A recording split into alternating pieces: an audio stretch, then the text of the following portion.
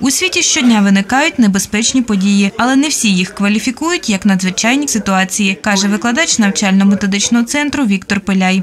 Для того, щоб визначити взагалі, е, що, яка подія відноситься за своїми критеріями до надзвичайних ситуацій, є такий показник, як порогове значення. Пороговим значенням класифікаційної ознаки надзвичайної ситуації є її кількісна характеристика, яка спричинена небезпечною подією або її наслідками. Якщо ж подію кваліфікували як надзвичайну ситуацію, то над її ліквідацією працюють фахівці з питань цивільного захисту, учасники комісій з техногенно-екологічної безпеки, інші уповноважені особи.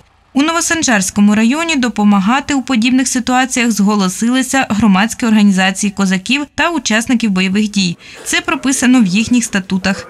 На випадок, наприклад, масштабних пожеж в територіальній ланці долучаються не тільки фахівці, які переписані з підприємств та організацій, е, рятувальники, е, пожежники, а ще й долучаються добровольці з цих громадських організацій. Тим часом ще одне актуальне питання цивільного захисту організація цієї роботи в новостворених об'єднаних громадах. Комісія повинна створюватися.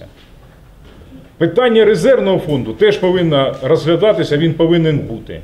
Нині на Полтавщині найбільш гострою є епізоотична ситуація. Якщо за увесь минулий рік на території області сталося 10 спалахів африканської чуми свиней, то стільки ж випадків цієї хвороби зафіксували за два місяці 17-го. Ситуація погіршилась після того, як в кінці минулого року е, ця хвороба поширилась на дику фауну, тобто на е,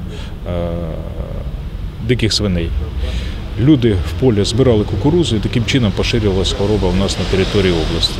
Однак остаточно невідомо, як хвороба потрапила на територію України, а от борються з її розповсюдженням за всіма правилами, каже Віктор Стеблянко.